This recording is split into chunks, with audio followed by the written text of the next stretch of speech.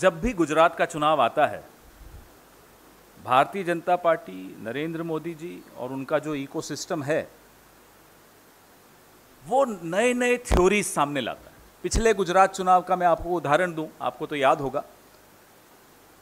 अचानक एक दिन नरेंद्र मोदी जी का जो एक इकोसिस्टम है, अचानक बोलता है कि साहब एक डिनर हुआ जंगपुरा में कहीं जिसमें इस देश के पूर्व सेनाध्यक्ष जनरल दीपक कपूर, जिसमें इस देश के पूर्व प्रधानमंत्री डॉक्टर मनमोहन सिंह और अनेक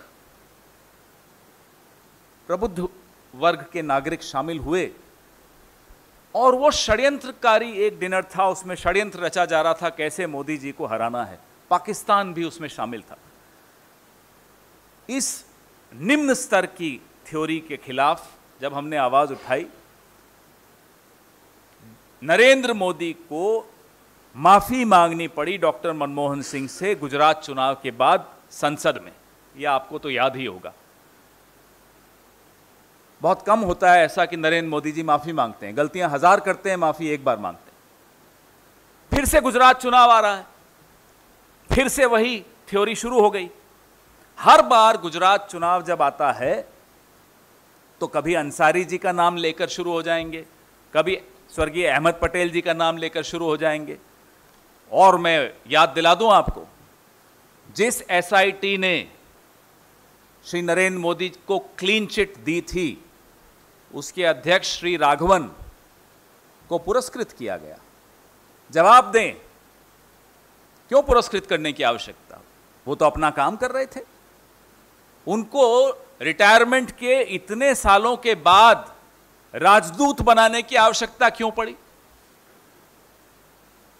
तो नरेंद्र मोदी जी को अब समझ लेना चाहिए कि काठ की हांडी बार बार नहीं चढ़ती। हर बार चुनाव आता है तो आप कभी किसी मुस्लिम नेता का नाम ज़रूर लाएँगे। आपको आठ साल में आपने कोई अच्छा काम नहीं किया जो दिखाकर आप जीत सके अगला चुनाव। हर बार आपको पाकिस्तान की शरण में जाना होता है। हर बार आपको हिंदू मुसलमान करना होता है। हर बार आपको षड्यंत्र दिखाना होता है कि मेरे खिलाफ षड्यंत्र हो गया। आप कौन हैं? आपके पहले क्या कोई प्रधानमंत्री नहीं था इस देश में, या आपके बाद कोई प्रधानमंत्री नहीं होगा इस देश में? सारे षड्यंत्र आपके खिलाफ है। और माफ़ कीजिएगा, मैं आपको यह बता दूँ, अगर नरेंद्र मोदी जी की राजनीतिक जो तरीका है, कांग्रेस पार्टी अख्तियार करती जब हम सत्ता में थे यूपीए में तो आप मुख्यमंत्री नहीं रह सकते थे। आप वहीं होते जहाँ होना चाहिए था। आपको कांग्रेस पार्टी इस तरह की राजनीति में विश्वास नहीं रखती। रखती होती तो आपको खामियाजा भुगत लेना होता। सबको जवाब मिल गया क्योंकि सबके दिमाग में एक ही सवाल था। Should be wind up thank you जैसा कि मैंने कहा अहमद पटेल जी हो या सोनिया जी हो, यह सब तो एक बहाना है। मक्स, जो जो असली है, वो गुजरात चुनाव निशाना है। तो और मैंने आपको एक पैटर्न बताया। आज, अभी तो मैंने दो पैटर्न बताया आपको 2017 का और अब 2022 का। उससे भी पहले जब ये मुख्यमंत्री थे जनाब, तब का भी पैटर्न अगर आप उठाकर देख लेंगे हर चुनाव से पहले एक षड्यंत्र दिखा देते थे। खतरा है। नरेंद्र मोदी जी को खतरा है। उनके खिलाफ षड्यंत्र रचा जा रहा है।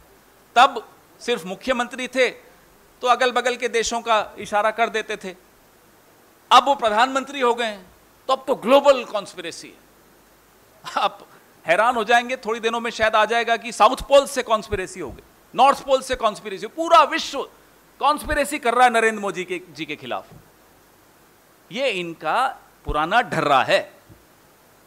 और अफसोस की बात है, हमने सोचा आठ साल हो गए सरकार चलाते हुए तो ढर्रा बदलेगा। अब तो कुछ दिखाने को होगा कि भाई मैंने किसानों के लिए कर दिया, नौजवानों के लिए कर दिया, अर्थव्यवस्था के लिए कर दिया, अब वो दिखा के चुनाव जीतेंगे। वो अब कर नहीं पा रहे। अभी मैं पिछले हफ़्ते गुजरात में था। हाईवे पर जाम था। हाईवे से निकलकर मैं बगल के रास्तों से लोगों ने, लोकल्स ने बताया कि यहाँ से चले जाइए। सड़कों की हालत अगर आप देख लेंगे तो आपको बिहार की सड़कें पसंद आ जाएँगी। यह हालत थी सड़कों की। तो आप 30 साल 28 साल से आप गुजरात में आपकी पार्टी का की सरकार है, गुजरात की असलियत सबके सामने है। अब उस असलियत को ढकने के लिए ये इस तरह की थ्योरीज लाते हैं।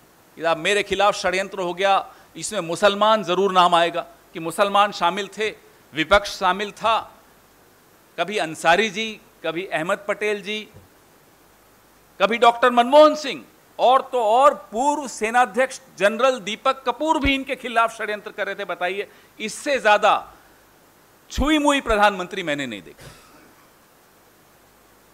न निंदा सुन सकते हैं, न पत्रकारों के सवाल ले सकते हैं, न विपक्ष के सवाल ले सकते हैं। आपने तो देखा कि भाई कौन कौन से शब्द असंसदीय हो गए।